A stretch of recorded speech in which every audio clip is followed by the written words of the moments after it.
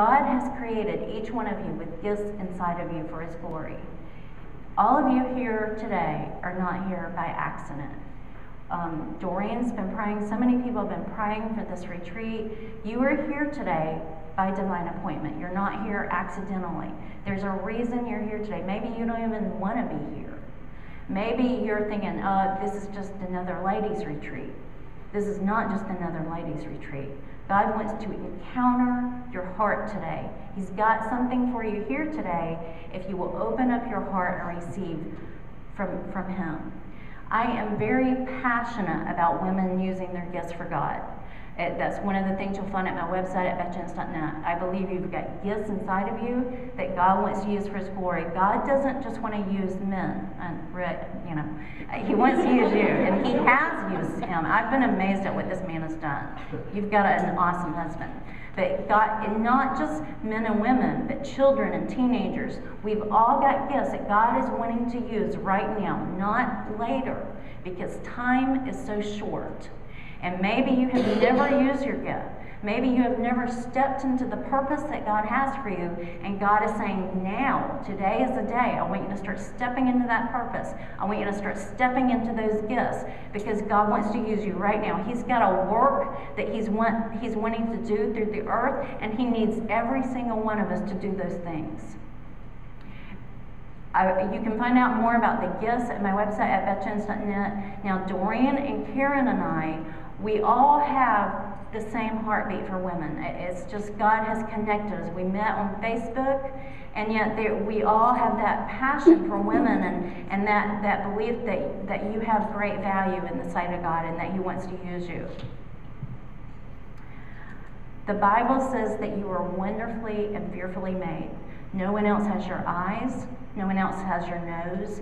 No one else has your, your mouth, your smile, your laughter. No one else has your personality, your DNA, your intelligence.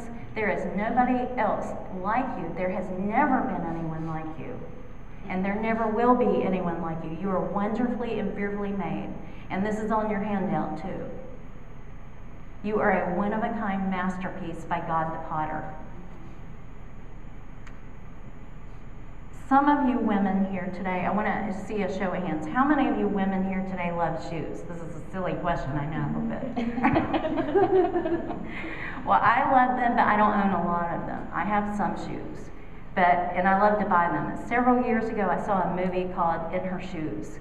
And it's not a movie I would necessarily recommend because it's got some language in it, it's got some inappropriate scenes, but it was a chick flick that I went to see with one of my friends. And in one of the scenes, the sister of Rose Feller, Maggie, came to her place to stay a while. Um, Maggie, Rose had been kicked out of the house by her stepmom. And she came to her sister's house to stay, and her sister had this closet full of shoes, top to bottom, ceiling to floor, all around shoes, most of them hardly ever worn. And she said to her sister, Look, if you're not going to wear them, don't buy them. Leave them for someone who's going to get something out of them. And Rose said, I got something out of them. When I feel bad, I like to treat myself. Clothes never look good. Food just makes me fatter. Shoes always fit. you know, you've seen it, huh? Shoes always fit. Are you walking in the shoes that God has for you right now? Have you been walking in those shoes? Do you know who you are? Do you know who you need to be? Do you know who God has called you to be? Do you know the purpose that God has for your life? Have you ever discovered your purpose? Do you know your why and your specific, unique purpose? Do you know what your spiritual gifts are, your talents and your skills? Do you know what your big dream is?